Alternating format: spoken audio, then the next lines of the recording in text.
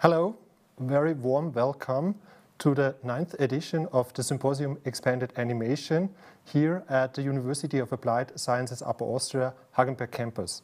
My name is Jürgen Hagler. I am uh, the director of the Ars Electronica Animation Festival and professor here at the campus. Uh, it's a great pleasure to kick off uh, this Expanded Animation Symposium again.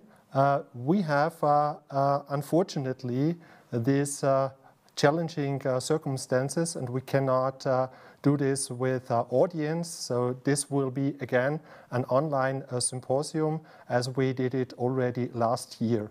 So we have some guests invited to our studio at the campus Hagenberg, but you can only join us uh, online and you have also the possibility to uh, leave some questions in the chat. So the Expanded Animation Symposium is uh, under the umbrella of the Ars Electronica Animation Festival since uh, several years.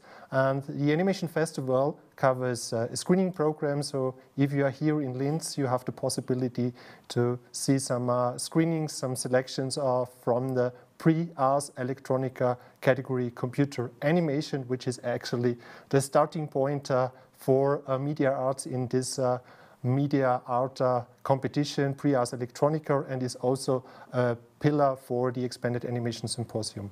Then there are additional uh, Deep Space uh, 8K uh, screenings. So we already had uh, a screening today with Eric O. Tomorrow there will also follow some very exciting uh, Deep Space 8K presentations. In addition, you have the possibility to see some uh, installations, selections from the award winners this year at the OK Center. And of course, there is uh, the Expanded Animation Symposium. So overall, um, screenings, uh, exhibitions, and more than 30 presentations. The symposium uh, started uh, in 2013 with uh, the overarching uh, or very ambitious topic, mapping an unlimited landscape. So I will introduce you briefly to the evolution of the expanded animation symposium. It was originally designed as a one-day unique uh, event. We had a, a lineup with uh, 10 speakers. Uh, Suzanne Buchan was our keynote speaker on the topic pervasive animation. And we actually continued and addressed the topic exploring uh, the vastness of art theory and play. So we tackled uh, this uh, very interesting intersection between animation and game. A year later, we had uh, this opportunity to host uh, the Expanded Animation Symposium under the umbrella of the Animation Festival in conjunction with the Prix Forum. This is the place where the winners, the Golden Nika winner and the Award of Distinction winners discuss with jury members discussing uh, their uh, projects actually. A year later, we continued with uh, the topic The Alchemists of Animation, closed connected to the yearly theme of Ars Electronica in 2016, Radical Atoms, The Alchemists of Our Time. A year later, uh, we started discussing the topic hybrid technology in animation. We invited uh, some guests uh, from the industry, but also from uh, research and uh, in conjunction with artists. We continued this uh, discussion a year later in 2018 with the topic interfaces in motion. We had discussed uh, this topic with uh, these upcoming virtual reality interfaces as well as virtual productions. Uh, in 2019, we presented the ontology Mapping an Unlimited Landscape, a recap, cap, so to speak, with these first five, six editions. The topic was out of the box, strong, connected to expanded cinema, expanded animation, so going back to the roots of this initiative. Last year, we tackled uh, the topic, the appeal of the analog, quite interesting because this was a virtual uh, conference, so to speak. And we uh, expanded uh, the conference to a three-day conference with uh, the University for Creative Arts with the conference Synesthetic Syntax, seeing uh, visuals, hearing sound, uh, seeing uh, uh, sound, hearing, visuals. And uh, this is a, a conference that we will continue this year as well. This year we have the title Tectonic Shift. There is the main question, is there a, a, kind of tectonic shift that we are facing now in production, in conception, but also in reception and distribution? So there are a couple of new things uh, evolving all the time. And the question is, is there a shift? Is there something that we can see now? Or is it a smooth transition as well? So uh, it's great to have overall uh, these uh, 30 presentations and we are really looking forward to see these contributions from so many people from the industry but also artist positions and researchers. So thank you so much to all the speakers for their contribution. Such an event, of course, is not possible without a great, great deal of support. So I would like to mention my co-organizers, Jeremiah Diephuis, Alexander Wilhelm, Wolfgang Hochleitner, Christoph Schaufler, Patrick Breuer, Houston Rodriguez. Thank you so much to Ars Electronica, to the University for Creative Arts for uh, this collaboration, and also uh, to all our partners, uh, Maxon, and uh, of course, uh, all these uh, sponsors that are supporting this great event, the Research Group Playful Interactive Environment, Subotron, the Förderverein FH Hagenberg, Alumni Club, FH Oberösterreich, Axis, Fronius, and the Wirtschaftskammer Oberösterreich. Thank you to all the students that are supporting this event and also a special thank you to the trailer team for their fantastic uh, uh, trailer. It's great to kick off this symposium again under these uh, challenging circumstances, and it's great to have Gerfried Stocker, Artistic Director, here with us. Thank you so much. Hello and a very warm and excited welcome also from my side to Expanded Animation. My name is Gerfried Stocker, I'm the Artistic Director of Ars Electronica and I have this wonderful opportunity to talk to you here from the Kepler Gardens. The Expanded Animation Symposium is a very important part of the annual animation festival and therefore a very important part of the annual Ars Electronica Festival. Computer animation in particular has been one of the defining topics of the Prix Ars Electronica, the big international award for computer art and digital art that Ars Electronica is giving out since 1987. And when we look back in these very early years when computer animation just was kind of becoming fashionable, where big expectations started that this sometimes would be a technology that could allow us to simulate reality. And when we look now at this whole vast universe of digital visual technologies, then we really see this uh, extremely interesting transformation and development. Now in the age of uh, artificial intelligence and all the new tools that are there to not only simulate reality, but actually to create, to invent realities that haven't been here before, we see on the one side this exciting technological development, but I would say we even much stronger see the very importance, the need for artistic contribution. We see how important it is to have the energy, the creativity, the inspiration of artists, exploring the possibilities of these tools, but also giving us opportunities to see these developments maybe with different perspectives. To not only see the possibilities, but to see the challenges and the problems. And this is what the whole Ars Electronica Festival is about. This is what we are talking this year under the title A New Digital Deal in so many areas of the festival and I would really like to use this opportunity to thank Jürgen Hagler, his exciting team at the Fachhochschule, at the Upper Austrian Fachhochschule, in particular the partners in Hagenberg and all the other people that are working with him for their energy, for their contribution and for this really wonderful long-term collaboration that uh, we have been able to establish. It's an important part of our global international network and I'm very happy that just uh, a few kilometers out of Linz we have such a strong partner here as well.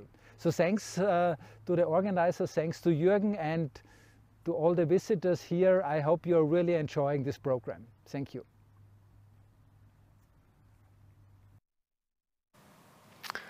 Hello and willkommen. Um, I would like to give you a brief overview of the panels of the next days, uh, the contents we have to share in the stream. And first of all, you maybe see this um, program here, and we can switch to it. We start today with the artist's position, and this panel contains talks of outstanding artists who will talk about their uh, remarkable work and the motivation and passion and why they do all the things they do. We starting this with Sine Özbilge, who will also be here live in the studio and talk with Jürgen after the talk. Tomorrow is a pretty long day with our main topic. This year's main topic is tectonic shift, like Jürgen mentioned already. And we have three long panels uh, that will negotiate the difficulties and changes that the pandemic brought to the animation and VFX industry and how this influenced the workflows for the artists.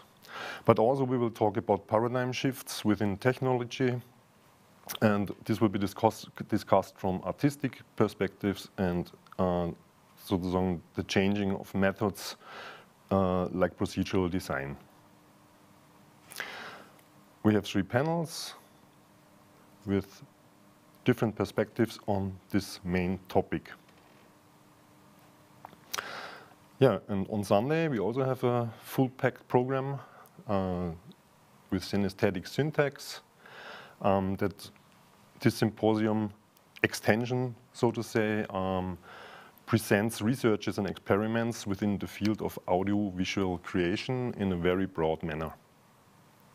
One thing I would like to mention very much is the Prix Forum, which normalwise opened our symposium, but out of time schedule issues, it is now placed in the middle of the Sunday, 15, 15 or 3 p.m. 15 at our place. Um, there is a calculator in our program that you can find on the uh, homepage um, that can calculate which time this means for you, depending on your place.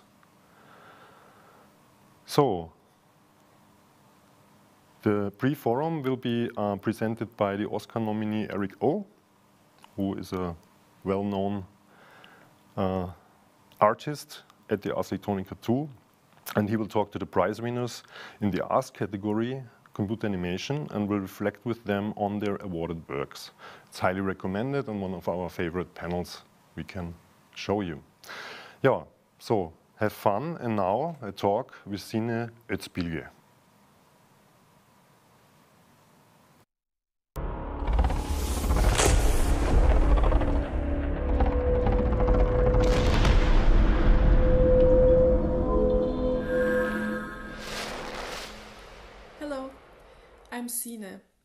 Audiovisual director and visual artist. Oftentimes, I collaborate with my artistic partner and sister Imge Özbilge. Together, we work as each other's mirrors, experimenting with the medium of animation, the 16 to 9 screen, digital installation art, and the use of mixed media. While doing so, we explore new connotations and stylistic forms. Just as we create in a duo, we also lead separate artistic practices.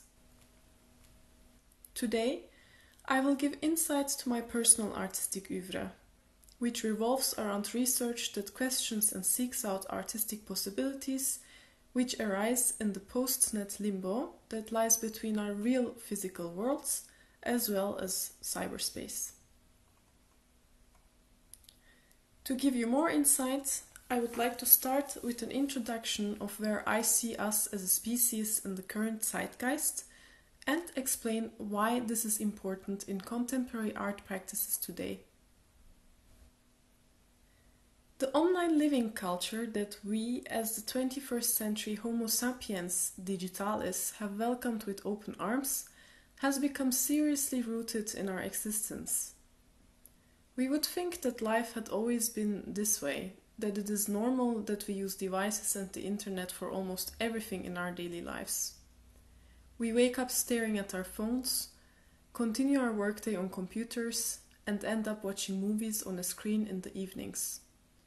We might say this is a personal choice, yet this digital infrastructure has creeped into nearly all of our essential needs, making it impossible to function without technology and rendering this an obligation rather than a choice, really. Nowadays, for instance, at some cafes or restaurants, you cannot consume anything unless you own a smartphone with a Payconiq app. This can prevent some people from ordering their drinks or food as they might not have the know how on installing an app, let alone own a smartphone. It's, it might sound strange, but it is still the reality for some people. This issue seems to be of concern to many of us. For example, the curator Omar Kholeif, in his book Goodbye World Looking at Art in the Digital Age, describes the struggles he faces with digital services while waiting for his flight at an airport. He narrates similar situations, while also questioning what this means and how far machines will and are replacing human labor as well as interaction. And what happens when machines fail us? Since the onset of COVID, cash is being eradicated, education is becoming monopolized, health data digitized, and many more changes are currently being established, which transform each one of us into ephemeral digital beings whose existence literally depends on the service of digital providers and privatized companies. Without your LinkedIn, you cannot apply to certain jobs. Without your bank apps, you cannot pay your rent.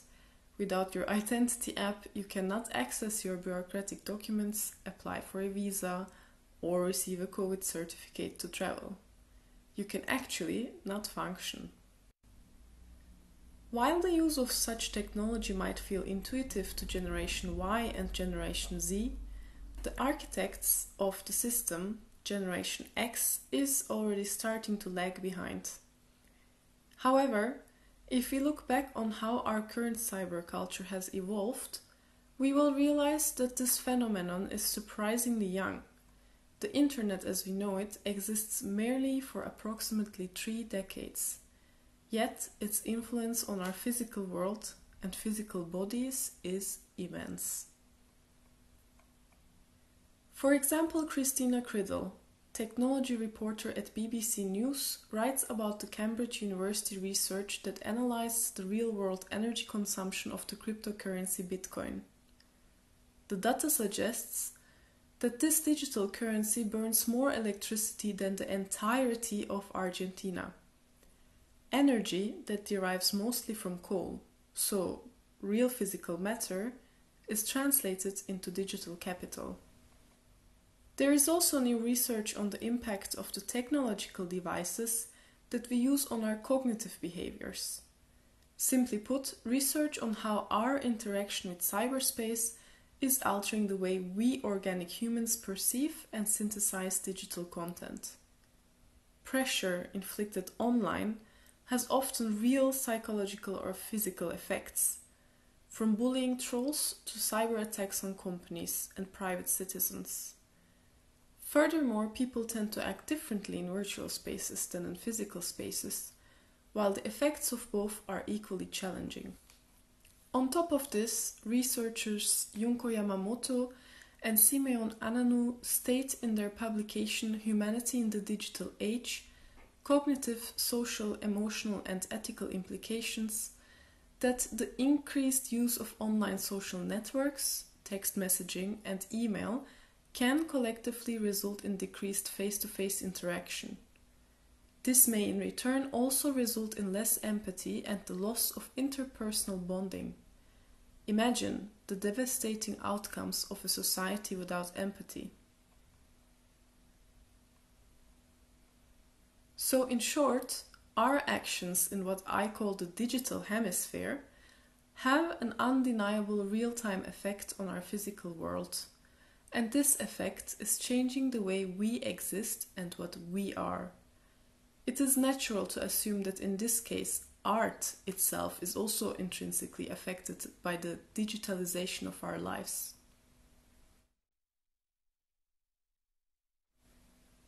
In the introduction of the anthology No Internet, No Art, Melanie Bühler explains that in our present era there can be no art that is not somehow connected to or reliant upon the internet.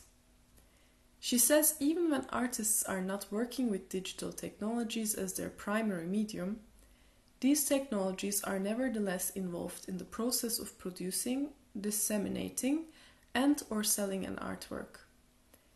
Be it that the materials were sourced on eBay, Wikipedia was consulted for research and is an assistant retouched the documentation in Photoshop, or the gallerist posted images of the work on Instagram. She started the Lunch Bytes anthology in 2011. Since then, her as well as other professionals in the art domain have furthered their inquiry into this subject.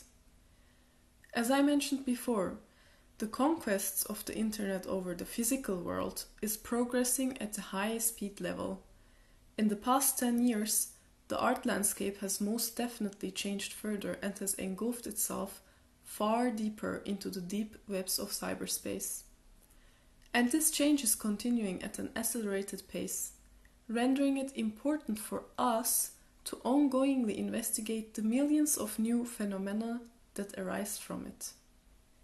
While academics look into research from a strongly theoretical and factual perspective, I believe artists are often acting upon their intuition and gut feelings.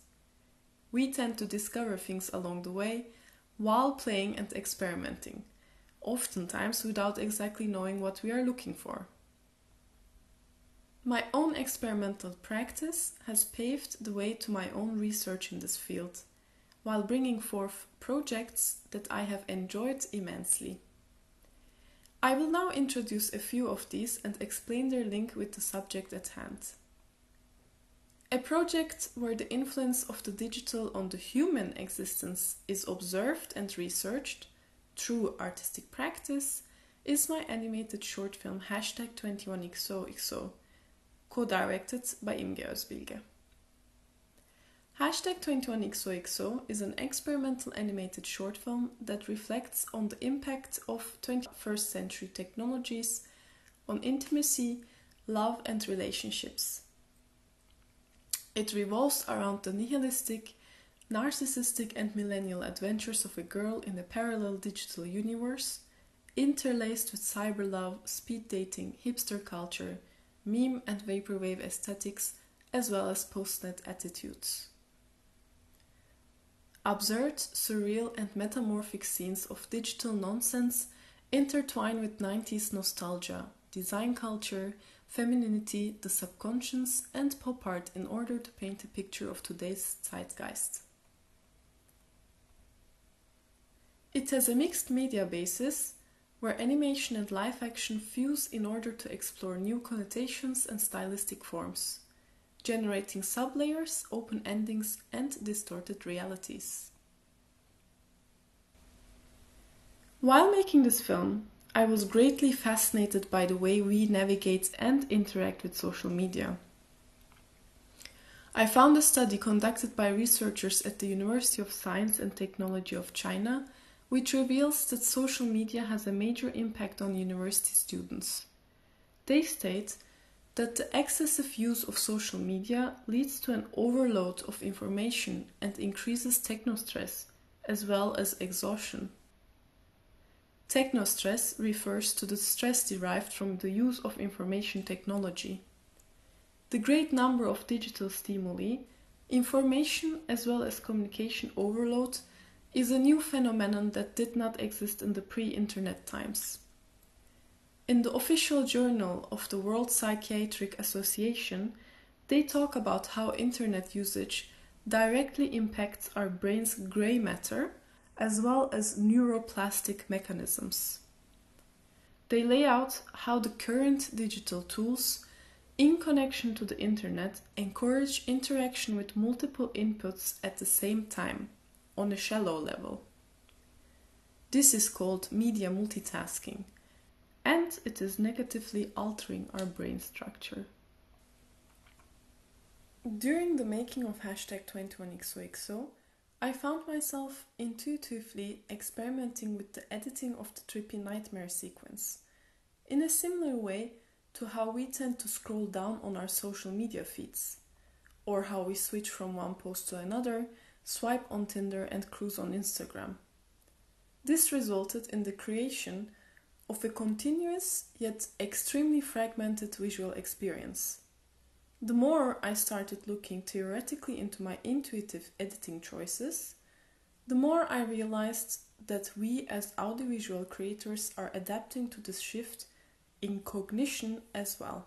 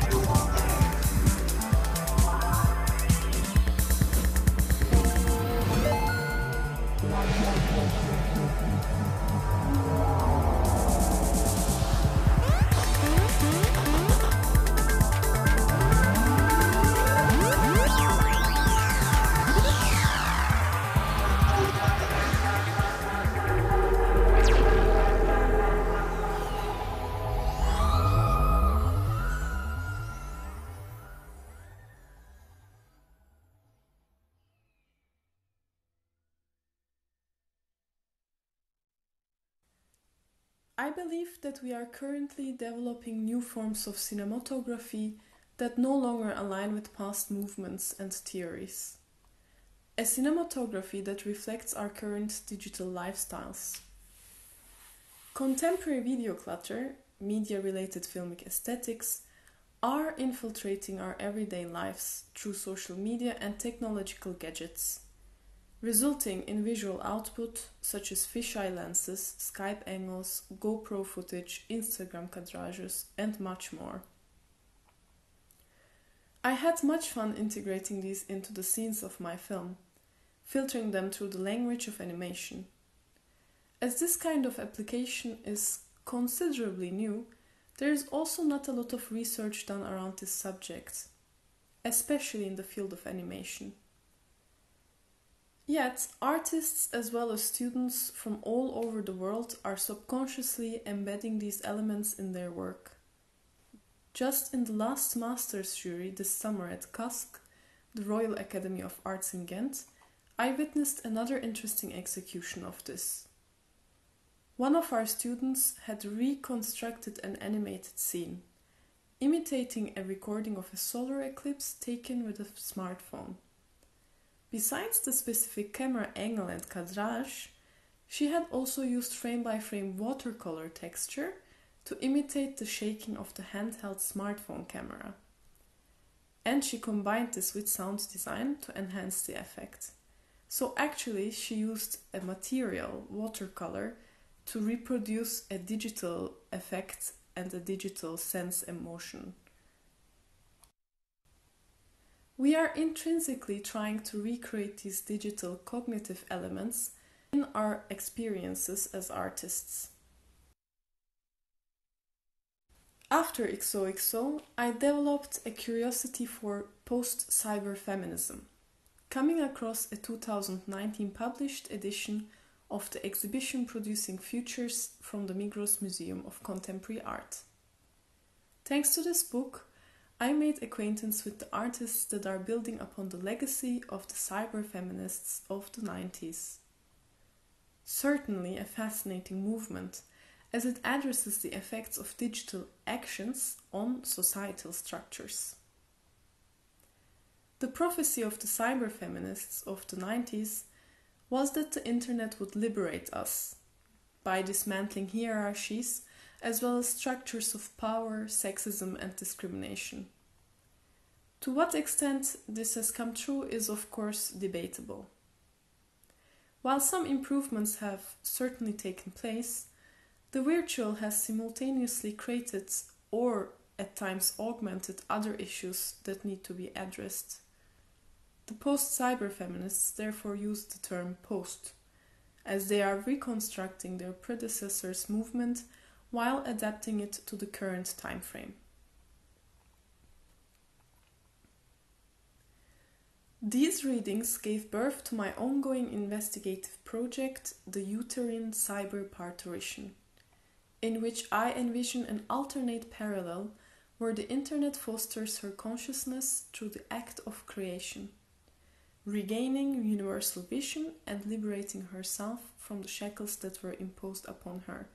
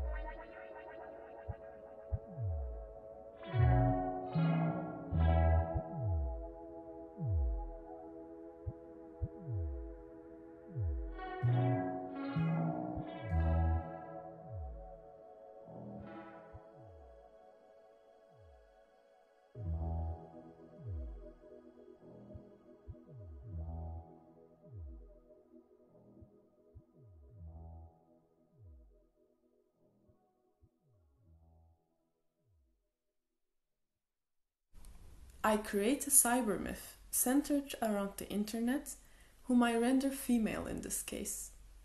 This myth enables the investigation of gender related symbolism.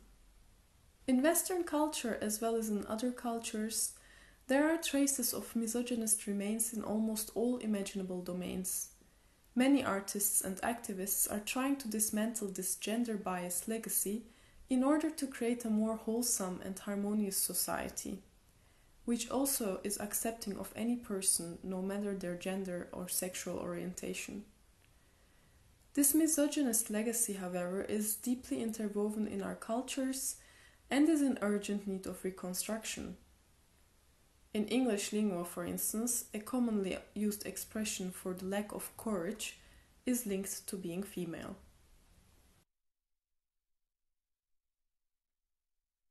David Shariatmadari, writer and editor at The Guardian, wrote an article in 2016 on sexism in language, pointing out that the word rabbit was, according to the dictionary publisher, described as feminist. He wrote that the publisher had been criticized for a sexist bias in its illustrations of how certain words are used. Nagging was followed by wife, Grating and shrill appeared in sentences describing women's voices. Luckily, today these terms have been adjusted. Other examples can be found in the medical jargon used in textbooks, which is still heavily based on outdated terminology. The term hysterectomy, for instance, is still related to the women specific made up mental illness hysteria. In the past, it was believed that removing the uterus would cure hysteria.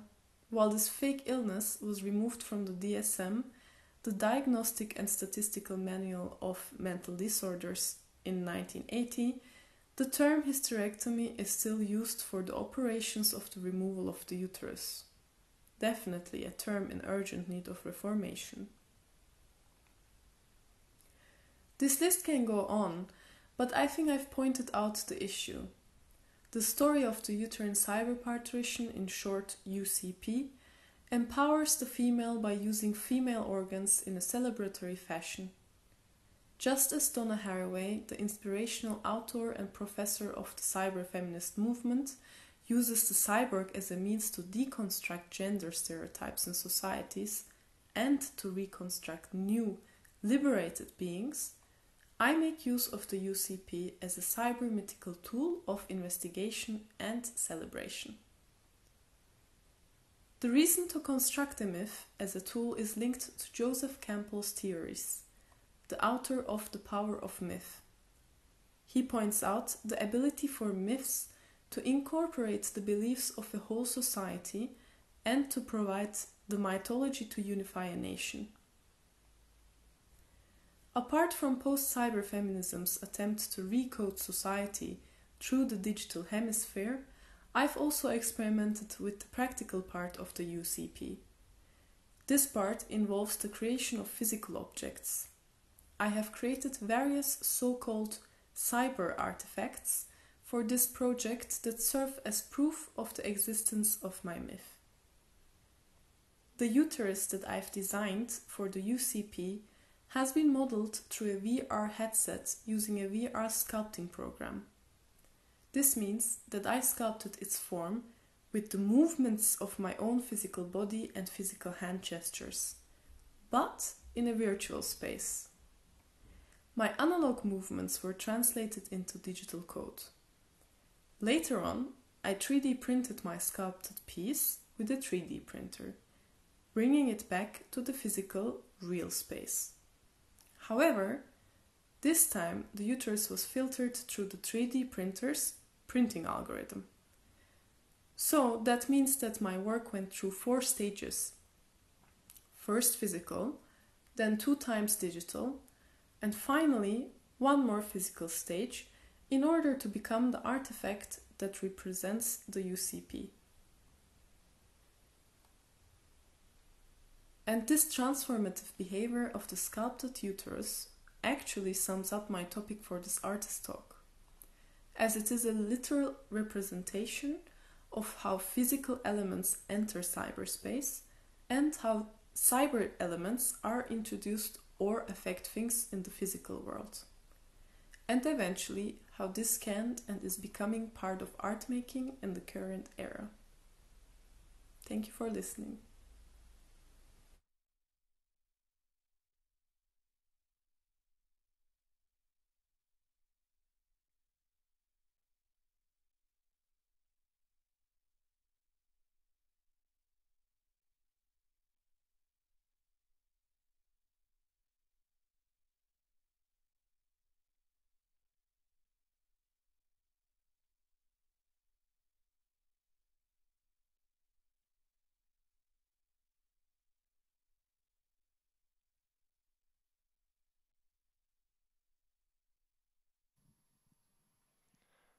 Thank you, Sine, for this fantastic uh, presentation. It's great to have you here in uh, Hagenberg at the studio, and it's also great to have Remco, the sound designer, here uh, with us. And uh, yeah, so let's start with uh, the Q&A for the audience. So if you want to address a question, just uh, leave a message in the chat, and I can read it to you, and we can discuss it. So Sine, it's uh, uh, quite interesting uh, to see that uh, sisters are working together. Brothers Quay is something that came to my mind when uh, I saw your work the first time. Uh, it's she couldn't make it, but you are collaborating since a couple of years. this is, I think, the second of third animated shorts that are you working together with your sister. Mm -hmm. This is uh, quite challenging, or is it uh, uh, easy? So how do you collaborate? Uh, in the beginning, is there a concept that you do together? How, how do we do that? Yeah. Um, firstly, thank you for having us. It's very exciting to be here. Um, Imge couldn't make it, but uh, she's also very happy to be part of Ars Electronica, as it's also the second year. Um, so the collaboration that we have is mostly, so far it was that we would write the um, stories separately and also create the artistic uh, world separately, but we would co-direct. So during production, um, we were making sure that we are each other's um, sparring partner and uh, support partner in it. Uh, currently, we are working on a project that we are completely writing by ourselves together this time, and we are merging our visual worlds as well. So, exciting times ahead. So is this um, totally different? Because uh, for uh, hashtag 21XOXO, uh, uh, you wrote the script, and then Imge joined the production, so to speak. Indeed, and yes. um, Mosaic, it was kind of vice versa. Yes, exactly. So yeah. um, hashtag 21XOXO is more um, visually from my side, uh, from the experimentation and also the story. But Mosaic is definitely Imge's uh, story and um, visual world as she is uh, specialized in Middle Eastern mythologies and miniature art. So you can also see that a lot in the um, way she creates characters. But uh, the co-directing, so the choosing of how we're gonna film it and how we're gonna animate it, uh, that part we do always together. So for the audience, I have a tip. Tomorrow there is a deep space presentation where you can see uh, Mosaic and uh, hashtag 21XOXO uh, in huge resolution on a large screen. And yeah, you actually got an award of uh, an, honorary mention for, for both last year and this year.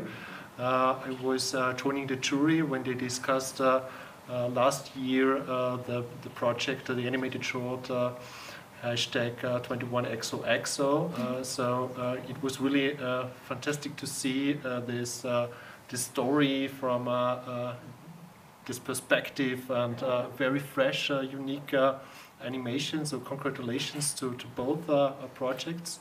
I was uh, uh, curious about this, um, the importance of your story. So in both um, projects, you have, have, different writers, so to speak. you have different artistic um, practice in, in your bio.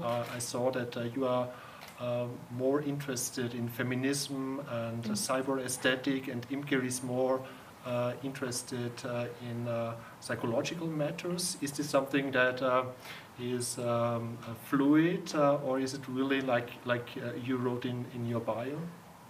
it is quite like that. Um, since our childhood, we we create because our mother is a painter, and we always had like always something creative, and we would express ourselves with um, drawings, for instance.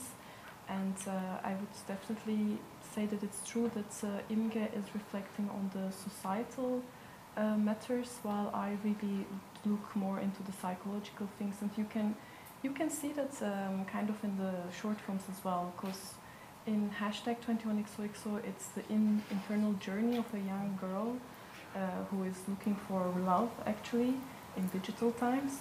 And in Mosaic, it's, um, it's the uh, reflection of a societal uh, issue and it's concentrated on the Middle Eastern cultural richness, basically. Mm -hmm. So, yeah, and uh, in the new film, it's titled The Curator. Okay. Uh, we want to bring these two uh, ways of researching of psychological and societal together and we will see what comes out of it. You mentioned that this is uh, um, a quite interesting approach uh, in this interactivity. So it, it will be a, a short film, but mm, also some uh, you, you are experimenting with some uh, different forms. Yes. So it's, it's, it's an upcoming project. Can you give us a, an insight into what you are actually planning to do? Yes. Um, so uh, we were given often from festivals and valuable curators curators the feedback that our films are very rich in research and that they sometimes like to watch it again because we hide so much information in character design or something in the back. Um, and then we realized, wow, we're just working with this linear medium, the short film, which just gives you something of approximately 15 minutes, uh, and it's like an experience in a cinema but we have so much more research and the world around these stories that we want to also share that. So now we are working uh, for the curator on a 360 project it's called, or a satellite project, uh, which will encompass also a game um, and maybe museum installations as well. We will see how far we will expand it. And uh, the interesting thing is uh, you can really play with narration in a game uh, because it's not linear and you can give the audience really the option to choose what they're going to observe first and how they come to the resolution. It's great to hear this, uh, and we are looking forward uh, to see this project. This uh, is quite interesting uh, uh, in, in terms of what is first. So uh, I, I know some projects in the past we have already discussed, for instance, David O'Reilly's piece, and he's also in this fringe of animation and games as well. So is my question is, uh, uh, what is first? As you are a filmmaker, are you starting with a traditional storyboard and animation and then think about activity and uh, non-linear uh, things? Is this uh, in the flux? Is this something that, that you still have to do to research? Very good question. um, I think we will try to do it simultaneously so far we did it. We have already everything ready for the short film. So that's hopefully will go into production in a year depending on funding possibilities of course. But we also have the pre, um, like the application for the prototype ready for the game. Uh, we did it together because it's important to question both media's possibilities and sometimes if you uh, do just a game from a film, for instance, you can really um, not give uh, all the credit to the game that you are making because actually a game is different. Often there are films uh, from whom they make a game, but the, it's the same story, for instance, and it doesn't really go fully into the potential. Mm -hmm. um, but uh, I think I will be able to answer this better in a few months when we're really diving into it. And by the way, I love David O'Reilly, so it's great to hear that. There, there are a couple of uh, great examples. We had uh, um, a presentation today with uh, uh Eric O, mm -hmm. and this is a, a, a huge uh, uh, tableau, also um, a kind of expansion of filmmaking, so to speak. Yeah, and it's a similar approach. And he also mentioned uh, thinking about uh, interactivity, and uh, this, this is obvious, so quite interesting question. Remco, you are the sound designer for yes. Uh, hashtag 21XOXO. So can you give us an um, insight into your approach and also maybe thinking about uh, together about uh, interactive sound design? Uh, yeah, so what was interesting for uh, that project is that I kind of did the sound design and the music a bit at the same time. Actually, I started more with sound design because Sine uh, already had this idea in her head to have like these uh, social media sounds, to use those in some sort of way. So I started with doing some research and just uh, looking for some of those social media sounds and getting like a database of these sounds and trying to see what I could do with them. And then I started making some musical sketches on what uh, I. The, the, project back then was still in early stages, I think, but I had like a, some clues on what kind of style I would want to uh, make to the to fit the, the narrative. And uh, then I, I just made a lot of sketches, and then together with Sine we looked like what could work for different what different parts. And then once we settled a bit on which ones to use, I expanded those further. Uh, and I I think a lot of uh, there's so, so, there's like the music, but a lot of the sounds uh, of things that appear in the background or like scene transitions are, are also already incorporated in the in the soundtrack. So uh, that was kind of interesting to do, to like make like a combination of the soundtrack and the sound design in uh, one track. Uh, and then there's like the whole the track in the more trippy scene, which is like a very rhythmic track, more like a clubby track, which was also very uh, challenging for me to do in the beginning because it was a I had to do like the sound design with all everything going on, and then also match the whole structure to the to the uh, edit of the film so that it fits with every transition, which was quite challenging with like the very rhythmic uh, structure of that uh, song. But uh, it was really fun to do. Yeah, it was just great because in XOXO we experimented a lot, and he also works experimental, so we could together discover what the possibilities are. It was a great collaboration. Yeah, it was. It was basically a lot of fun to do, and yeah. I uh, I had uh, mostly what I used was like this uh, Roland uh, Juno 60 uh, synthesizer, and I just uh, made almost uh, every sound with uh, just the synthesizer. But it was really fun to just see what I could get out of the synthesizer, and it the sound quite was quite fitting with the movie, I think, mm -hmm. and also the aesthetic. Uh, so yeah, it was really fun to explore. It's the same challenge uh, for sound designers uh, as for animators and filmmakers, uh, if you go the next step, interactive environments, uh, 360, how to handle uh, sound, sound design, music, because it's linear and then it's interactive yeah. or even in a 3D space, then it's really a lot of things to, to consider. yes. And also, actually, for the next project, uh, the game, I will also be uh, looking into doing the sound design and the music, which will also be a new challenge to see how uh, we can use sounds interactive and in a, in a, in a space and how to work that out. So. Yeah, indeed. I was just refreshing uh, uh the, the stream, so uh, if you have any questions, so we're still discussing uh, some other topics, just leave it in the chat and I can address it to you.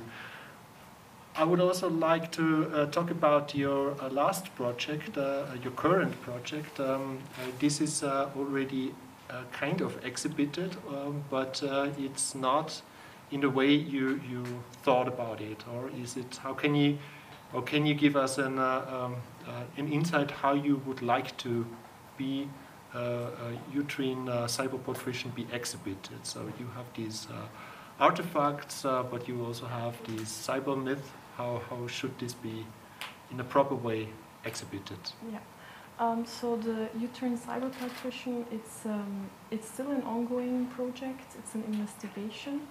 And I'm looking um, into the possibilities of creating a myth. And the myth is centered around the internet that gives birth uh, to her own uterus and creativity. Um, I am currently looking at what the best exhibition uh, for this would be, if it can be an interactive installation where people can also make 3D uh, uh, objects and print them, because the artifacts, the 3D artifacts that I'm talking about are human-made, and they're kind of uh, the proof of the existence of the uterine cyber parturition. Um, but uh, during the process, I also had a great opportunity to showcase uh, one of the fragments of it uh, at the Denver Digerati in uh, Denver. Uh, it's an amazing um, art platform and festival. Uh, the festival is called Supernova with great curators, and they selected it to show it at the Urban Expo screening. there is in the artist talk you can see an image. Yeah. Yes, an image from that. Uh, so they were extremely supportive, and eventually um, the media company that rents the screens had uh, a bit of an issue because the orig original video footage had the uterus in it. Uh, but they found that a bit um, too sexual or offensive, and so we had to change it. And I changed it into ovaries in disguise, the title of the piece. Uh, which was eventually exhibited. The original text on the side screen was also saying that Freud is a sad man. Uh, that was translated to the weather is nice. Uh. Okay, quite interesting. so this is uh, um, but very important for you to have this um, gap between uh, or transitions between the digital and the analog. Mm -hmm. in in this case of this object, you started with uh, a body movement, so to speak, uh, and then uh, at the end there is an object that can be touched in, the, in, a, in an exhibition. Uh, so this uh, kind of switch uh, between cyber and real, is this something that is important in your whole body of work? even if we think about um, um, hashtag 21XOXO, so there is also a transition between the real and so this is this um, something that uh, is quite important in, in, your whole world? Definitely. uh, before hashtag 2020XOXO, there was my graduation film, The Three Wing Circus, which was also a bit of a Méliès uh, live action and drawing uh, mix. And I back then I already started um, looking into possibilities of reality games that come out of the uh, combination of animation and live action. And now, of course, with digital technologies, I'm continuing more into AR and 3D printing and still observing what it means that something is digital. Is it like an alternative reality? Uh, when is something tangible? Um, when I 3D print something, uh, I can touch it. Uh, what does that mean? Is it more real then? And um, yeah, so for the, the uterine cyber parturition artifacts, I was I love contemporary art history and I I always appreciated the abstract expressionists that use their own bodies to paint. For instance, Pollock was doing that. His movements were translating into painting. And with this project, it's the VR where you actually really sculpt in a virtual space um, with your own body movement. And then that is translated into digital data, but eventually again printed into the real physical world. As we are running out of time, uh, and there is no question, uh, I, I, think I have to refresh it, but I, I, don't think there is a question. I will address a last one. Uh, you mentioned in a talk that you gave with your sister last year that you are very keen on characters uh, that are, uh, so to speak, uh, appealing and uncanny at the same time. Uh, this is a case in, in uh, uh, EXO, mm -hmm. kind of in the current animated short as well. Is this um, a very particular device of animation to have this possibility of this gap between uncanny and appealing? Um, this is definitely for hashtag 21XOXO the case. Uh, for other movies, we kind of tailor make the characters that should fit the uh, storyline. Uh, for instance, Mosaic has much more of an emotional uh, connection uh, with the characters, but in hashtag 21XOXO, it was um, on purpose supposed to be disturbing. Um, and that's why we, we used rotoscopy, but in a way that they, the characters didn't have eyes. Uh, they had like this um, uh, empty Photoshop texture when you looked into the eyes and the mouth.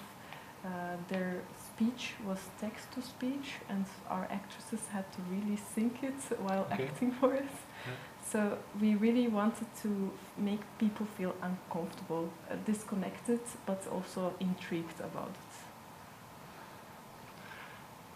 Thank you so much, Sina, for uh, this uh, great uh, insight and for uh, the fantastic presentation. Uh, also, thank you, Remco, for joining. Uh, we just had a, a, little conversation on the sound yes. design, but thank you so much. we will continue with the next talk. Matthias Winckelmann will talk about a current project, Rachael is Not Real, and he will talk about strategies in social media that he will use for uh, a uh, bot that is creating uh, meaningful images.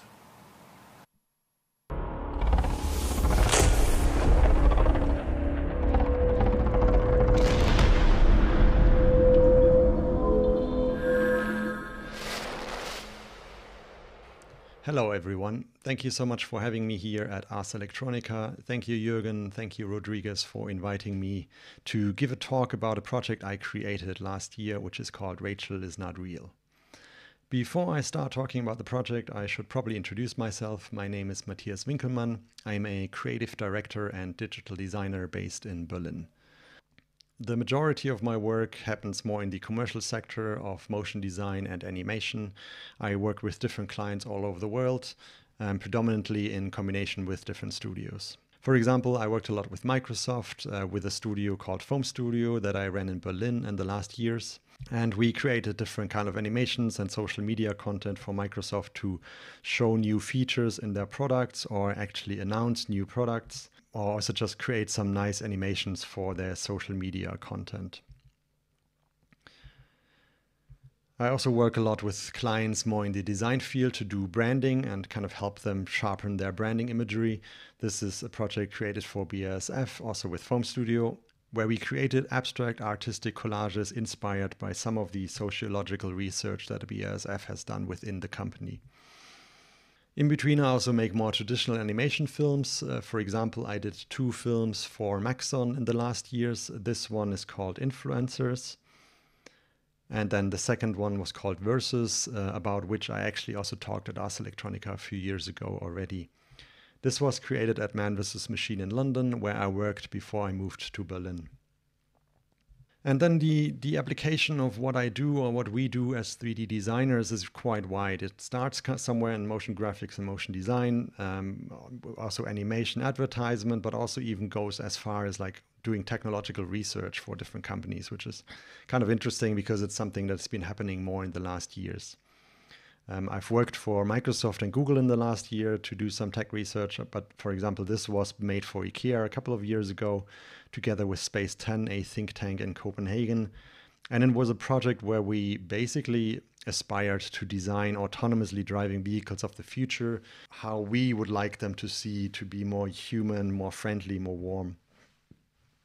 When you work in motion design, you traditionally will work with TV channels um, um, as well from time to time. This is uh, some branding we did for ITV2 a few years ago at Man vs. Machine, or um, the opening title of the Film 4 production company that I created um, also a few years ago. And traditionally, you will do advertisement from time to time. So these are some pieces I did for Honda or another piece um, we did at Man vs. Machine for I LOHAS, it's a Japanese water company that also is more like kind of animation, very animation heavy, but more in the context of advertisement.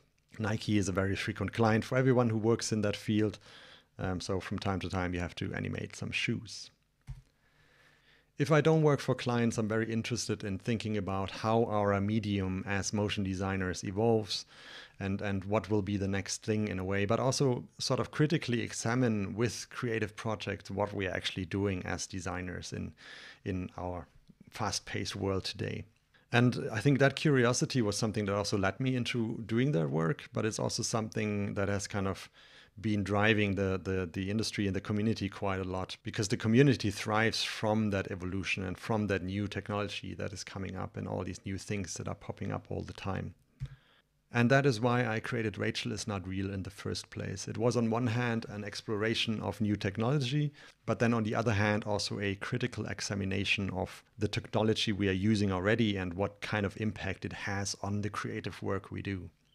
A little bit of a background to motion design and motion graphics, and I'm trying to keep this short, but uh, not everybody might be super familiar with the kind of work and that sort of niche industry that exists around it. But motion design, in a way, or motion graphics can be traced back to 100 years ago with, with movements like Absoluter Film or Cinéma Pur, in which experimental filmmakers um, strived to create abstract animations that sort of reflect on an alternative reality outside of the commonly known film medium already. Then it really got more attention with the title design of the 70s, people like Saul Bass, who were really pioneers of the medium and, and kind of gave it a new platform. For me personally, it, it became very interesting, um, also age wise, with MTV in the 90s, where music videos and also like just abstract 3D animation was really celebrated on the platform. Um, and this is also where I got into it. But back in the days, it was like music videos were several minutes long and yeah either they could be animated or motion graphics but also quite often it was like very stylized um, video shoots or film shoots and, and that still falls sort of in the section of motion design when I actually practically started working in the industry, um, Vimeo was a big deal. Um, it was everybody was sort of pushing their work on Vimeo, and you try to publish a film once or twice every year, and these films were like several minutes long. So you needed a strong concept and a narrative to keep people interested throughout the film, and, and actually also kind of not just through the visual design and the images, but also tell a story or like at least an idea. With Instagram in the last years, especially, this has massively changed. The formats got shorter, the content has to be a lot more catchy and just like pulling people in. And it's not so much about a, a concept or narrative anymore, much rather of like visual eye candy that is just popping up on your feed. So that platform had a massive impact on what kind of work is created as well, not just for what kind of platform it is created, but it, it really mirrors back into the kind of work designers are creating today. And TikTok is not really the new big thing yet for motion design, but it's coming more and more. And it just shows me that the medium will not stop evolving here. It will always like try to adapt to the new platform or to the needs that clients have in a way. Generally, you can say the average duration of animated design pieces has been constantly decreasing over the last years um, from like several minutes on, on MTV or Vimeo um, to just like maybe 10, 20 seconds on Instagram because these are the durations that work a lot better on that platform. And equally, it also addresses an, an, a similar phenomenon that, that I believe the attention span of the audience has been decreasing at the same time. People are not necessarily willing anymore to sit down and watch a long film over several minutes, but rather stop briefly while scrolling down their feed. And if it interests them, they might stick with it. And if not, they just continue scrolling downwards. And becoming aware of that development has made me start questioning the impact that social media has on the work that we do not even social media as such, but the platforms within social media, um, how they influence the work we do and how they influence what kind of creative decisions we make along the way. On one hand, social media is extremely important for any kind of creative work because it's a very fast way of sharing your work, and especially in the commercial design industry, social media is like the main platform right now that most people work towards. But then at the same time, that format has started to have such an impact on what kind of creative decisions we make as designers and artists that I'm I'm sometimes wondering if if that impact is not way too big and doesn't like diminish the creative quality of our work. Quoting a German philosopher named Georg Franck on the topic um, of the economy of attention, he already quite a while ago stated that mass media exchanges information and entertainment for attention, which is in turn monetized via advertising. And that sounds fairly obvious nowadays when you scroll down your feed and in between you have sponsored advertising, but it's something that we've grown so accustomed to that we are not necessarily questioning it anymore. And I actually believe that that structure of social media at the same time has started to have quite a significant impact on the media itself. He also said, overall, I argue that we are living in an era of mental capitalism in which the relations of production themselves have inverted the relationship between the material and mental worlds, so that the realm of ideas is now the driving economic force.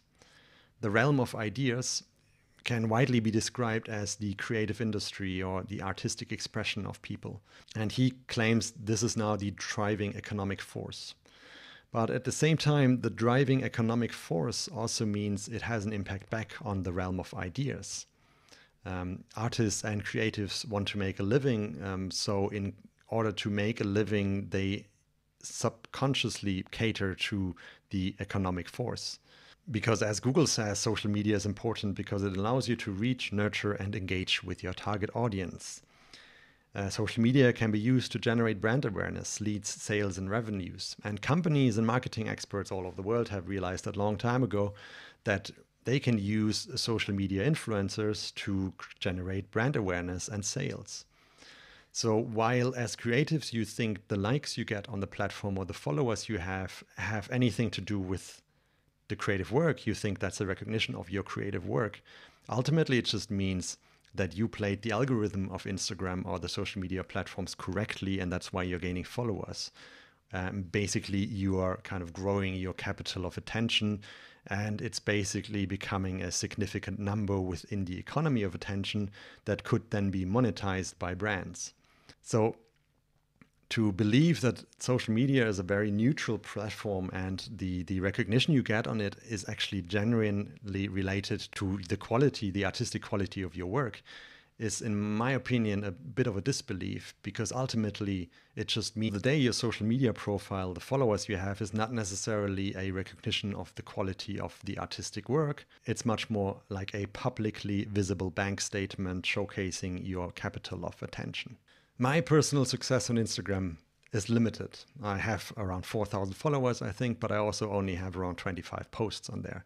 I've always been kind of skeptical of the platform um, because I felt the the shortness of the pieces and the way of consumption doesn't really allow to to really go deep into projects or concepts or artistic works or ideas. If I look at the commercial work I did and I added together on like other accounts from the brands I worked for, then it's probably in the millions, uh, the capital of attention, but it doesn't reflect down on me as an individual who created it.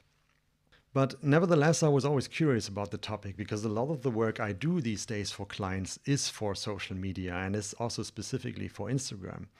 Um, and I was wondering, what does it require to become an Instagram influencer? Like, what are actually the specific needs of the algorithm that you need to trigger so that you gain more followers? So I started Googling and looking up what, what actually, like, what do people say you need to do? And these are um, directly taken from the internet, these tips I'm showing you now. So tip number one is like, identify your niche and content pillars uh, you want to do a niche because uh, you want to be known for something specific. You don't want to just post random pictures from you every day. You sort of want to have your own thing that people might be attracted to. And then at the same time, you need to be very frequently uploading stuff. So you need to ask yourself, what could I happily create consistently for a year without making any money? And as you can see, even this first tip is already tailored to potentially make money with it at some point. Tip number two stay consistent. Consistency has on one hand to do with frequent posting so ideally on a daily basis or at least like on a very specific days per week so that your audience knows when they will see the next post. And also consistency has a lot to do with um, the random aspect that i mentioned before. If somebody comes to an instagram profile they sort of want to know what they would get if they follow. They don't want to like just follow a profile and then get something completely different a few days down the line so the consistency also has to do with predictability. The audience wants to be able to roughly predict what they will see. Tip number three is write meaningful captions because still Instagram is a meaningful platform. So whenever you post something, you need to have a meaningful caption underneath that really like communicates the depth that can be taken in while scrolling upwards on your social media feed. And focus on building a community, um, which obviously has to do with Instagram is still a platform for people to interact with each other, but at the same time, the algorithm um, uh, rewards you if you just not post on a regular basis, but also comment on others people posts. Um, post stories from time to time, reels, all these other features, the algorithm will recognize that you're active on the platform and therefore the potential of the algorithm suggesting your profile to other people is increasing. So basically, all of these rules not necessarily tailored to um, what people want to see. They much more tailored to what the Instagram algorithm expects from a content creator to engage with the platform and be successful on it. And then all of that research ultimately led me to the birth of Rachael Leary. In order to understand the algorithms of Instagram, I decided to create another algorithm. Rachael is an automated algorithm that uploads images to Instagram automatically. So, technically speaking, it, she is a bot.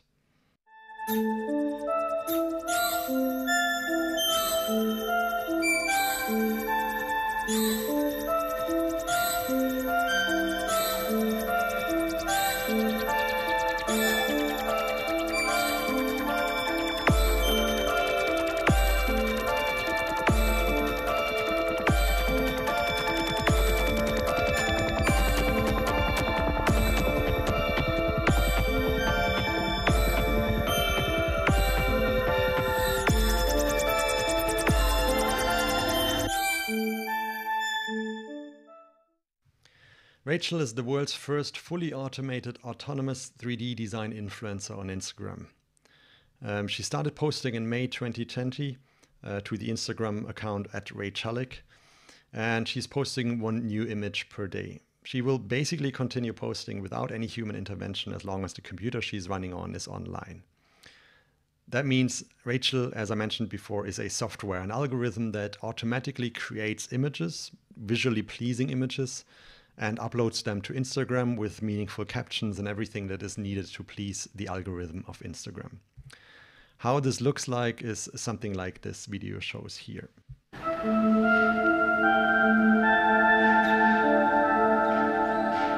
So once per day, Rachael fires up on the machine that she's running on. Um, she starts creating a new image that is based on very simple design techniques Uh, she has a variety of shapes and colors to choose from. Then she basically generates a meaningful name to the image that was just created and then uses a custom Python script to upload the image to Instagram automatically.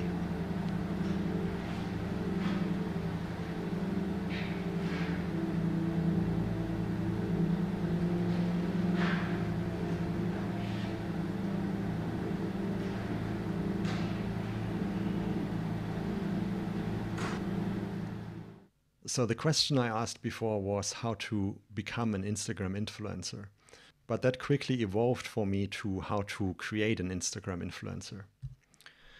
So coming back to the tips we looked at before. Tip number one, identify your niche and content pillars. What could I happily create consistently for a year without making a dime? Um, I struggled with that question because I didn't feel the gain from becoming a Instagram influencer big enough for making me sit down and do the same thing every day consistently. But an algorithm can do that for you. You feed the algorithm with a certain amount of parameters and it can create a huge variety of images automatically. And they are still different enough from each other so that they work on this daily posting routine um, but they're also similar enough to create a feeling of consistency that people see it and they will enjoy what they see potentially, hopefully, and then they will decide to follow because they know they will see the same thing tomorrow again, just a little bit different. So Rachael automatically creates images that are based on different color palettes that are generally assumed to be visually pleasing in modern design language. She uses abstract objects, renders them in a photorealistic environment because that's my niche, so to say. It's something you don't see every day. In if you walk on the street, you won't see an abstract object lying around there, but it's something that works really well in 3D and is generally kind of liked by people. And it has some sort of artistic notion to it by the color scheme sometimes, but it doesn't say enough to be offending in any sort of way or to actually need a bigger amount of attention that you kind of you know need to stop your feet and actually look at an image. It's it's the perfect two seconds like image, um, and then you continue your feed. The consistency of Rachael is very much based on the algorithm that I designed. On one hand, she's posting on a daily basis, which means people can expect when to see the next post. On the other hand, Rachael uses certain design techniques that allow for a very reliable image generation. Such design techniques are, for example, the most obvious one is a grid system in 3D that allows for the placement of objects in a very orderly fashion, but also gives you a certain amount of flexibility on how to create compositions.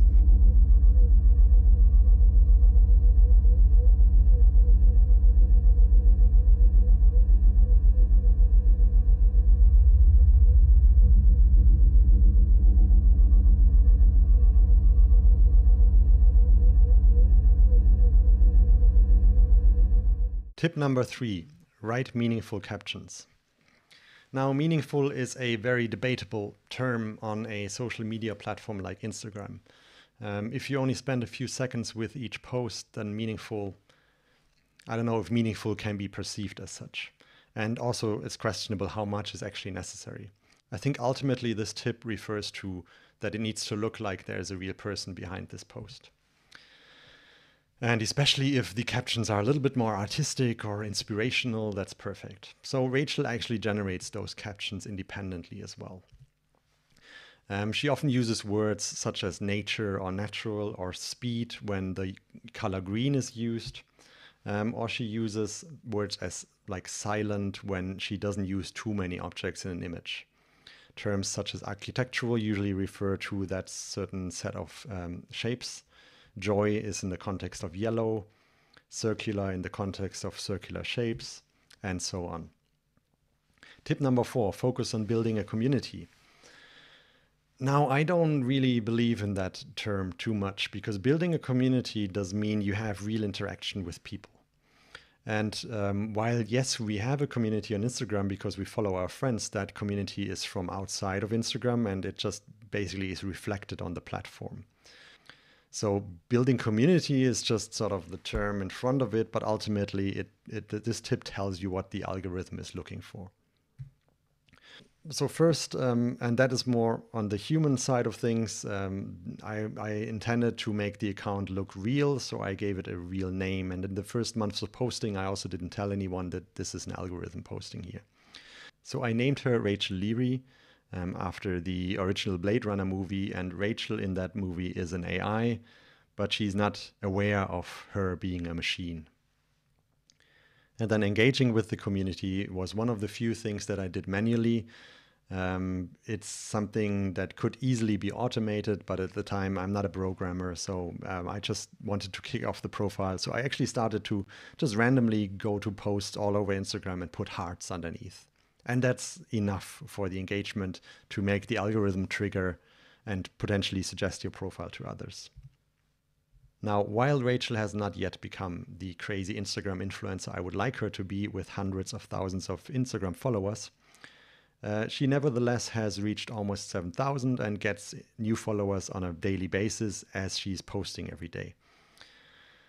Uh, on one hand, um, obviously, I'd liked her to have more, but on the other hand, it kind of made me sort of gain belief in the platform again because uh, people seem to unfollow her as well. So it, uh, it, seems people do start to get tired of the, the same content every day. Um, but one phenomenon that I really enjoyed that started happening a few weeks ago is that the bots of Instagram um, discovered Rachael. So now, whenever she posts, there's a good chance that one of the bots picks up the post and uh, automatically posts a comment on it. So in a way, she really succeeded in building the community within her niche uh, because she's a bot posting and bots talking to her.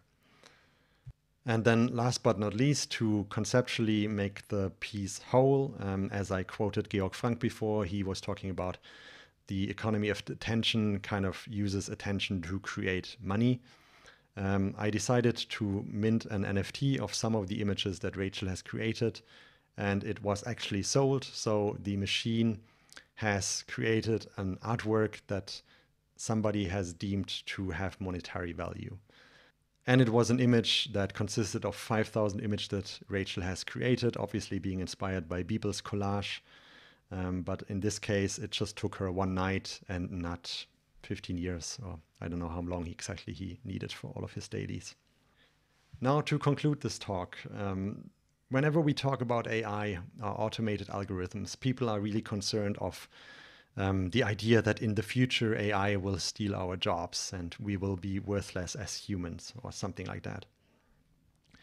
But ultimately, looking at how um, creative work evolved in the last years, and especially the one which caters to social media platforms, um, I don't even think we need to wait for the AI. If we are reducing the platforms we are using to, to very quick social media feeds and the content we are producing is satisfactory, if it's just like a mesmerizing loop of, of balls falling through, I don't know what abstract geometry, then we are already diminishing our input as creatives, as artists, as humans to um, a, a, simplistic version of creative expression that can easily be automated today. We don't need to wait for AI. Technically speaking, Rachael is not necessarily an AI, it's an automated algorithm. And it can already create a lot of those images and content that is successful on those platforms. So I think AI in the future will not steal our jobs as long as we keep evolving as humans and, and use creative expression at the utmost highest level of human expression and not start to change how we express ourselves artistically simply to cater to algorithms that are controlled by machines. And to end on a positive note, I still think every algorithm will need a human to design it in the first place. Um, algor these algorithms don't exist yet, so somebody needs to design them to create those images. So, as creative professionals, maybe our role will change more from actually creating the images or the videos will maybe change more into creating algorithms that generate those images. And that basically is the end of my talk. Thank you so much for listening. Um, I think there's a Q&A afterwards, so if you have any questions, um, I'll be very curious to hear them. Thank you.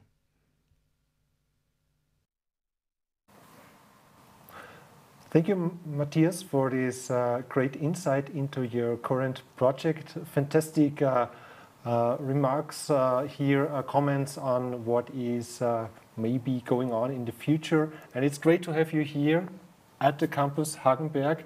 And we can talk about this quite interesting project. As we have this overarching topic, tectonic shift, this automatic bot 3D designer, is this something that will uh, totally change uh, the production of uh, image and animation in the future? What do you think? Um, yeah, first of all, thank you for having me. Um, I don't know if it, I mean, it, I, I'm pretty sure it will change it, but I think it's also part of what technology has always been for the 3D community, especially. And it's always been a substantial part that we're using certain tools that make our work easier. Uh, and I think these tools are just becoming more and more intelligent so that we can potentially automate more and more things um, further down the line. As I, as I mentioned in the end of the presentation, I don't think it's, um, it's going to replace the designer because even these tools have to be designed by someone. I think it will just potentially change the role of designers from like crafting singular images rather like craft design systems that are then automated and craft those images for you in a way. Uh, this is obvious. So uh, I think that in the last uh, 40, 30 years, uh, there has been put a lot of effort to to design new tools uh, and make these tools smarter. But on the other hand, is, is the human getting smarter as well? So as you mentioned, so it's still it needs a human that is uh, in touch with these artificial intelligence tools or automated designers. Yeah, I mean, obviously humans are getting smarter because they're able to build such things like like AI or like all these crazy technologies, um, which is based on a lot of knowledge and research over the years. I'm not sure if in the creative fields we're necessarily getting smarter because of what I mentioned in the in the in the presentation. The you know the, the platforms are sort of encouraging really fast output of images uh, that are just like almost speaking to rudimental instincts of people uh, rather than spending a year thinking about a painting that will be shown in the exhibition next year then. Yeah, but I see this uh, observation in your piece, so that mm. it's uh, creating meaningful sentences and meaningful images uh, uh, for uh, an audience that is responding to this image as well. So is it, of course, a critical examination of how we um, yeah, see uh, um, see these images and comment on that, and how these will be, uh, so to speak, uh, um, part of the structure of the platform actually. Yeah.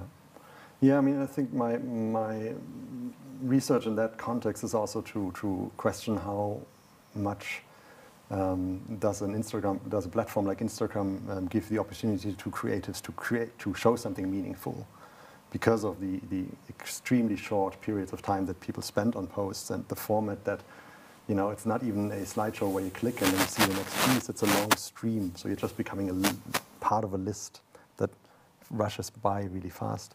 So that the meaningful aspect is something I'm still not sure about. Like, is it meaningful if it's just like looks pretty and has a nice caption, or is does meaningful need more time from an audience to actually understand the, the work? And also uh, along a duration. So you mentioned that yeah. everything is uh, getting shorter and shorter, music videos, uh, and also uh, um, music itself is uh, also connected to the structure of uh, Spotify is actually tracking so, and generating um, money.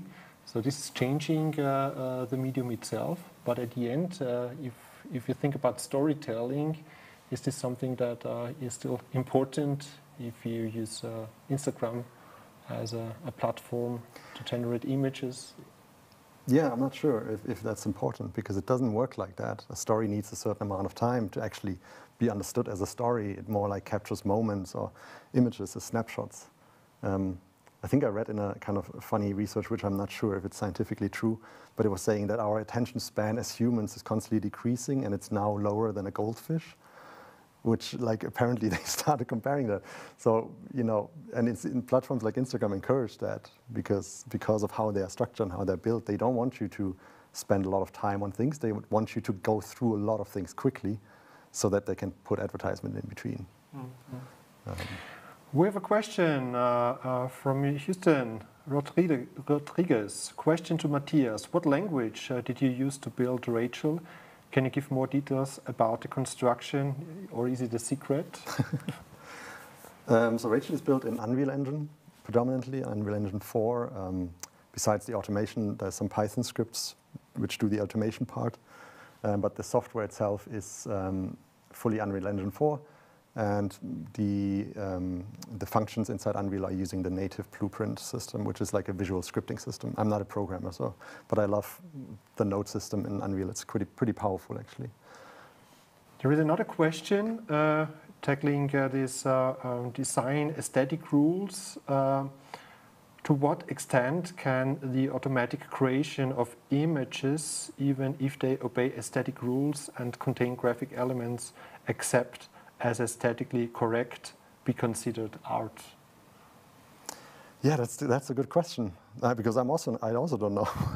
that was my question to myself in, with this project. You know, is something art just because um, it, it it looks pretty? Because you know I I work in the design field for a while now, and we always use certain techniques because we know they create um, visually pleasing images, as I describe in my project, um, and and they trigger certain kind of like a certain kind of um, attractiveness in the audience in a way. Don't know how to put it. So is that art? I don't know. I can't answer that question. That's that, I think that's that's a much bigger question that we are all conversing about. But my question is more like, does does the platform even give um, the creators the possibility to show art? In, in, in, this uh, direction, uh, um, I was thinking about, uh, uh you started with Rachael um, um a year ago, and uh, you already got at the beginning requests uh, for design job, as you, you mentioned. That's that's quite interesting. Uh, of course, it's um, um, a limited uh, um, um, rule of sets uh, of design sets for creating uh, these images. but I was wondering if there is um, a dialogue on the comments. Is this something that uh, could be in the future influence uh, the aesthetic uh, rules for Rachael, so that this is an evolving system? Yeah, I mean, ultimately it, it, would be totally possible. I think, I mean, in my head there are so many more possibilities um, of what Rachael could be. Um, originally, I also planned that she will post animations one day. Um, she might still dive into different kind of styles, or maybe there's a, another Rachael at some point. Um, so I'm still exploring that. I mean, the possibilities are endless. Um, but ultimately, for me, the the more important part than than show having like a tech demo was to to actually bring the concept to to, um, to completion and actually do the the thing of like creating an Instagram account with a real name that posts images and without anybody knowing at first, this is an automated software doing it. Um, and for that, I felt like I was at a point when I started releasing um, her that, that it's kind of enough for that concept. Um, she's currently not using any machine learning or anything like that. I mean, ultimately, that would be an interesting experiment because she's creating her own library. So at some point, she could potentially look at the likes on the images and then uh, start with machine learning to adapt her own algorithm more towards those which have more likes. Um, but that's, that's, that's a bigger project. so. Uh, what is quite interesting is there is a coincidence because there is uh, Beeple with a similar name, Winkelmann, uh, and he's doing uh, uh, this every day since since years. And there is also a connection with Rachael because you reflected with this 5,000 image images as a collage, and you also sold it as an NFT. So can you give us uh, an insight into this uh, conversation between uh, these artworks? And I'm also very interested what you think about uh, the NFT because at the beginning of this the year when uh, Beeple sold his uh, collage, his first 5,000 images. Uh, this was really a, a, kind of a tectonic shift in the art world because uh, everybody thought, okay, this is the future for, for media art. Uh, is this uh, something that that you um, see as a challenge, uh, or do you see is it more um, a hype, uh, more um, something that is for for nerds?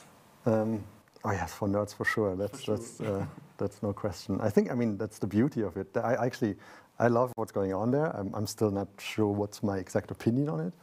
Um, but I love that it's, I mean, nerds is a, is a strange word, but it really feels like the digital art scene, which has always been a little bit overlooked by the traditional art scene, kind of suddenly met those like crypto bankroller guys who probably can't really, or never really dared before to just walk into a normal traditional commercial gallery and buy work. It feels like they both kind of met and realized, hey, we can build our own art scene completely independent from the other thing. And I, I love that part of it. It's such an internet thing in a way.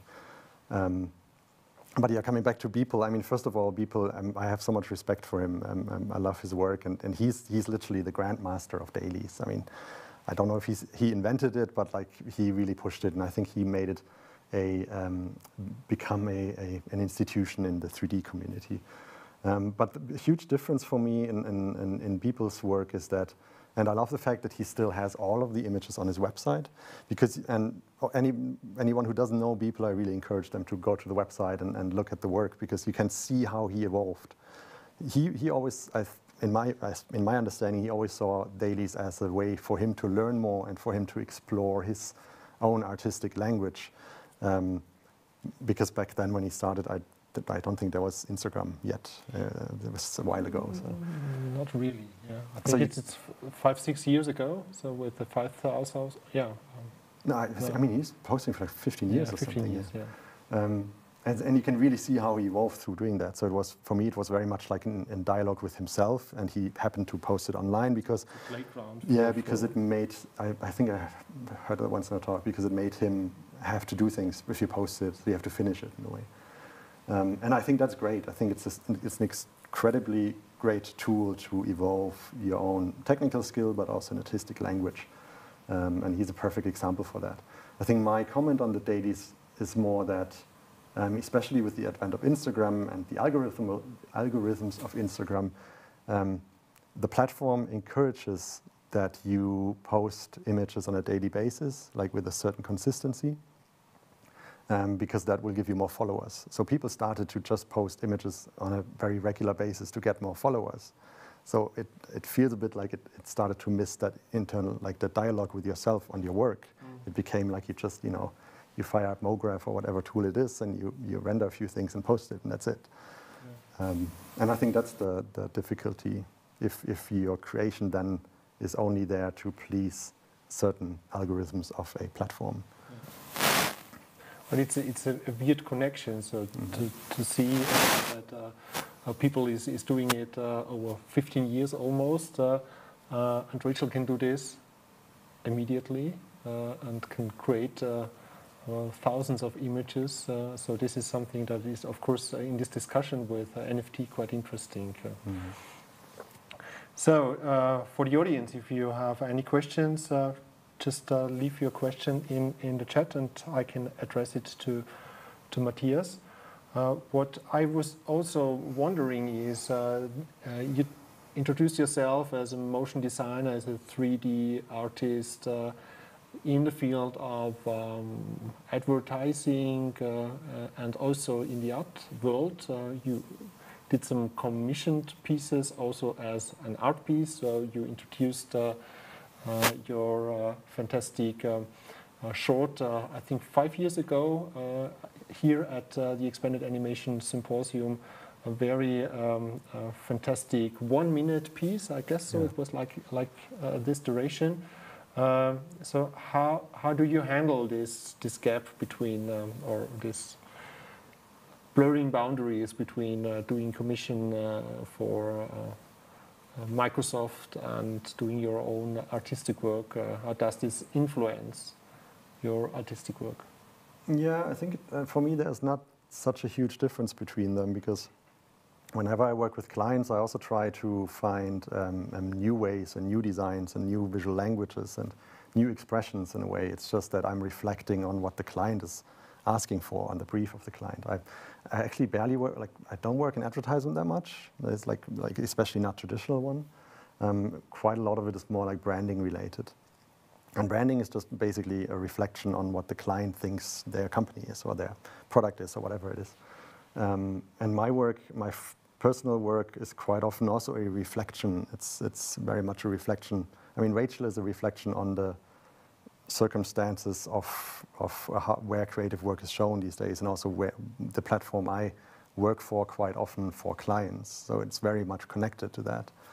Um, so yeah, I think, I think 3D artists or digital artists quite often, um, especially in motion design, have been sort of in between seats a lot because motion design, um, there's a lot of exploration involved that is quite artistic and quite free and then ultimately you just put a logo in the end and suddenly it's a product advertisement. Um, so I've, I never, I never really found myself very clearly um, labeled as one or the other in a way. I'll come back to uh, our starting question. Is there a kind of a tectonic shift? Uh, of course, uh, uh these tools, Instagram, TikTok, are, are, changing a lot. But on the other hand, we are facing, or we have new tools. Uh, is it a kind of uh, a shift now, or is it more a transition that we are facing new platforms, new tools uh, in the next year, and it will always evolve and change? We talked about the duration, so there is not really a lot of space to change because we are almost at a couple of seconds. Um, yeah, I mean, I mentioned in my presentation that I actually kind of see it more as a transition, like a, an ongoing process into something else.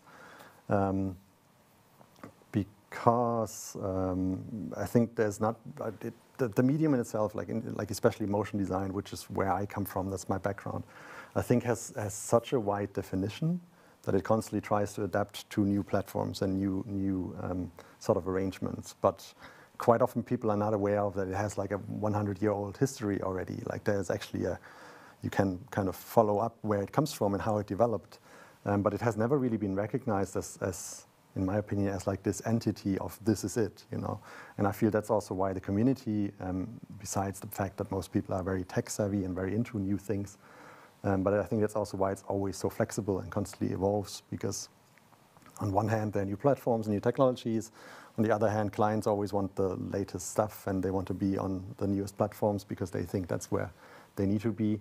Um, and, and then the creatives behind it just adapt to that situation. And the pandemic has an impact on that, on, on your uh, work as well? Oh yeah, it was like, I think for pretty much everyone I know, it was like one of the busiest year ever because I mean, on one hand, the film sector um, couldn't shoot as easy as they could before, so I think um, budgets from that end actually started to triple over into the more animation sector because it feels a bit like yeah. and games as well, yeah. yeah. But in the animation sector, it feels like agencies suddenly discovered, hey, there are all these these nerds. They're sitting at home anyway, all day. so for them, nothing really changes. So, um, yeah, and it was uh, um, already established in, in, in, in production that Yeah. uh, all these companies work together in virtual space, so to speak, and uh, have uh, shared folders and doing everything before the pandemic, actually. Yeah, so this was something that is was not new for uh, the people that are working in the industry. Yeah, I think um, a lot of studios or like a lot of people actually considered um, remote work before the pandemic because it was just um, practical in the context of how we work. Um, my good friends of mine at, at Panoply in London, um, they I talked with Mark and he also said like even before the pandemic they were actually looking into moving all of their computers into a data center and close the studio and just work from wherever they are and they, they've done that and they've been doing that and they're not planning to come back because it's not necessary. Um, although it's kind of nice sometimes to actually have, have people around you. It's so nice to have you here, actually, and to- to talk with you here and have a coffee afterwards and go uh, to the uh, gala at the Ars Electronica fe- uh, Festival. So, this is really something that we uh, would love to do next year to have the audience here again. And uh, as we are running out of time, thank you so much for your presentation and for, for this very nice talk. Uh, thanks you. uh, for, for the questions. Uh, we will uh, continue after uh, a 30 minute break. Yes, 6:15 p.m. Um, European time, Central European time. So on the website you have the possibility, very fancy, to switch uh, to your uh, time zone, and then you see the program in your time zone. So we will continue in 30 minutes with uh, two great, uh, another great presentations uh, from artists, so to speak, uh, Nonny de la Peña and Peter Burr. Uh, both uh, have been uh, awarded already at Prix Ars Electronica, and it's yeah, you are cordially invited to join this discussion. Thank you so much. Thank you, Matthias. Thank you.